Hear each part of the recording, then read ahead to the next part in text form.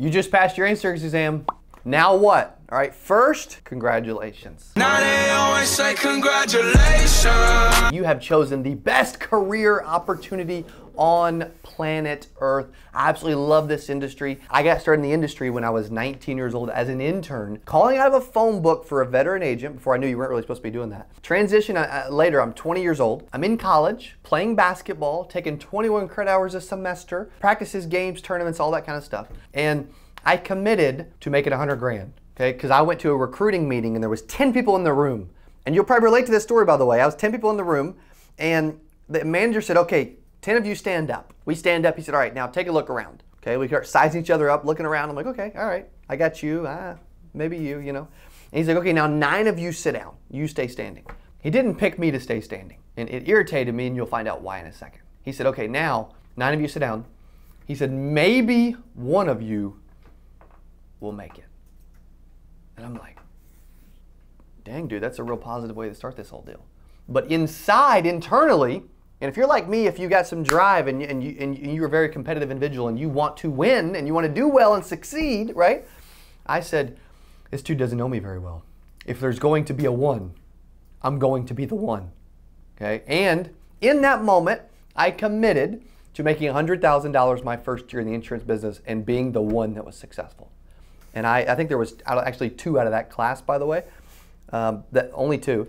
But I wrote down, I will earn $100,000 my first year in the insurance business. I dated it, I signed it, and I put it up on the wall of my cubicle. And then every day I went out to make that a reality. Okay, I went out cold calling, cold door knocking, and made $117,361.13 in my first eight months at 20 years old. If I can do it, you can too. I guarantee it. I promise you that if, if I was able to succeed, you can as well. I'm to share with you some of the stuff that you need to be thinking about doing now that you have your license. Congrats. Okay, you've passed it. Now make sure you go get your license from the state, okay, Department of Insurance. What I did, I'm going to walk you through some of the things that I did. I'm also going to walk you through some of the things you need to think about doing. After I got my, my after I got my license, when you get your license, you got to find a you got to find somewhere to plug into. You need a niche, really. You need to niche down. Don't try to sell everything. That, that's a mistake. By the way, that's a big mistake that a lot of agents make. They want to sell everything when in reality, they need to be selling this, this, this, or this. I chose life insurance. I'm not saying that's what you should choose, by the way, but I chose life insurance as my niche. Okay, so that's good. That's a niche, right? We, we got that. Then I, all right, life insurance. I need, I need somewhere to, uh, to sell, right? Carriers, contracts, right? Captive or independent, whatever. Then, once you have contracts and carriers and you have the ability to sell a product, an insurance product, for an insurance company and get paid commission, that's how you make money, then you need to figure out what is your marketing approach going to be. How are you going to consistently get in front of people?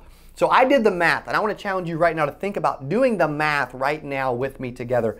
I, I, I put out a piece of paper I figured out what I thought. I asked some veteran agents. I figured out what my, I thought my average sell would be. And I learned that I needed to sit down with at least 10 people every single week. If I would consistently sit and ask 10 people to buy, and I think I even increased my numbers just a little bit on purpose to have a little bit of a buffer. As long as I sat down and asked 10 people to buy every single week, then I was successful and I did really well. The weeks that I didn't hit 10, I sucked. I didn't have a big week. Unfortunately, most agents, they only sit with zero, one, two, three, or four people per week. And it's very difficult to be successful if you're not getting that many swings of the bat, if you're not getting momentum. If you like if you have one appointment here and then two appointments the next day and then one the next day, right? You're never really getting in a rhythm and you're having and, and maybe they stand you up or you have a no and your whole day is super negative. I would jam pack appointments into about 3 days per week okay, so that I would have some wins, some small wins each day. And I would get in a rhythm and momentum, and I'd make sales that I shouldn't make because I had those little wins. Okay, I didn't spread it out over the course of an entire week. So I would have, I would have call nights. I would call on Saturdays, Sundays, and Mondays, even Tuesdays when I needed it, but I would typically run appointments on Monday, Tuesday, Wednesday. And then if I needed extra, I would go door knock on Thursday and Friday. And if I really needed extra, I would door knock on a Saturday. That was my week. That was my rhythm, right? That that was that, but but you've got to figure out how are you going to get in front of those people? That math we just did, how, are you going to like for me, I was trying to set 15 sit with 10 to sell 5. That was my triple S system, if you will set, sit, sell. Set 15, sit with 10, sell 5. And as long as I did that, I knew I was going to be successful and have a phenomenal freaking week. And the thing is, 100 grand may sound like a lot of money to you, but if you divide it by 50 weeks, you take two weeks off, guess what? It's not as much as you think. It's only about $400 per sales day. Now, when you break it down like that, it makes it seem possible, right? So, what happens is I don't focus on months, quarters, and years, I focus on weeks. As long as I can string enough good weeks together, bam, bam, bam, I can develop a phenomenal year just by stringing together a lot of good weeks. Okay, so my marketing perspective was I didn't know anything about leads, I didn't know anything about buying stuff. I did three things.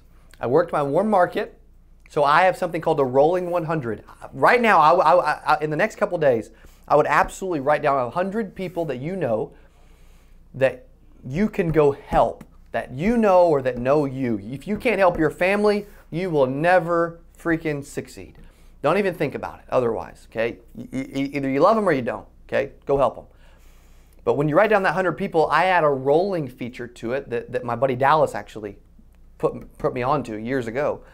Anytime I sell someone or they don't buy, I take their name off of the list. But every time you take a name off, you have to automatically add one on. Where you're like, Cody, dude, I don't know if I have enough people to like add a name, you know? You do, I promise. I sold insurance to a couple team members lately I recruited a guy at Office Depot. I recruited a, a, my, my waitress at the restaurant Char in Springfield, right? So I'm actively looking for people to add to my list. As long as you want to find them, church, gym, restaurants, right, coworkers, anywhere else, I promise you, if you want to find them, you'll find them. Okay, so so you had, that, that was the first thing. My rolling 100. If I took a name off, I added one, and I always had a 100 people that I could reach out to to go see. And you should be able to see at least a handful of those every week pretty easily. Okay. Rolling 100, warm market. The second thing I did was I cold called. So I had call nights. I would bring over college kids, and every Monday night from 5:30 to 8:30 we would make calls. I'd give them a script, a cold call list, a chair, a phone, a cubicle, okay, in a script, and I would help them make calls. And we would cold call a list, and I would give everybody a list and names, and we'd make calls, and then and then at the end of the night, I would we would book eight, 12. We'd have three to five people. I would also make calls with them, so I could lead by example, and we'd have uh, I'd give away cash for, for in, trivia and, and, and, and some money and, and, and gift cards. And we, I would walk out of there with 8, 12, 16, 20, sometimes tw- as many as 24 appointments in like three hours. So that was the second thing was cold calling.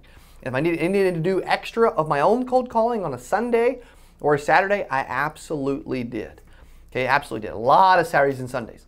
And then the third thing I did, because it's all about activity in this business, right? Warm market, cold calling, and, and, and, I'm not saying that this is what I would do now, by the way, because I, I, would probably use some money and, and, do some marketing, but this is what I did back then. The third thing I, I did was door knock. I would go cold door knock on these senior housing facilities. They had no clue I was coming, they didn't know who I was, and I had to win them over. That forced me to be a phenomenal salesperson, to go from, hi, my name's Cody, to thank you, to, thank you for your business, welcome to the family.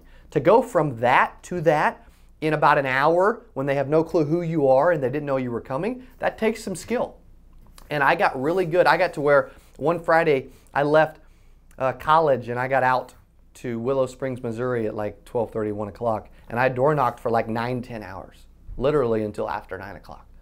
And I sold six life insurance policies in one day in that one 175 door knocks or whatever it was, simply from cold door knocking. So I got really good at something that I hated, that was uncomfortable, that was a fear for me, but I put myself out of my comfort zone and I did it. So those are the different ways, right? So you need you got to pass your test, right? Congratulations. You got to have some. You got to have a product niche. You got to have some carriers and contracts to sell so that you can earn some commission.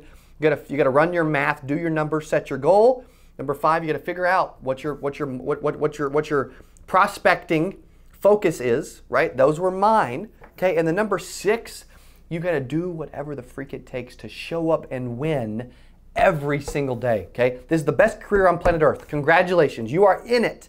This is it. Unfortunately, 92% of agents fail, and that's a big specific reason why they fail because they don't sit with enough people, they don't have a goal, they don't know what they're doing, and they don't prospect enough, they don't put forth enough activity in. You put enough activity in, I promise you'll get it out. Okay? Also, there are more millionaires in a financial services and insurance industry than any other industry in the world. You're in the right vehicle. You have the right career. You have a license to sell, to go make money now. Let's go. Hey, you love this and you're like, dude, what are the mistakes that I don't want to make and how do I avoid them? All right, I'm going to go over this top six mistakes agents make and how you can avoid making them right here. Click on that video. See you over there. Hey, six mistakes. Six mistakes that a lot of agents make. I wonder if you're making them and how to avoid them. So I'm to start out by letting you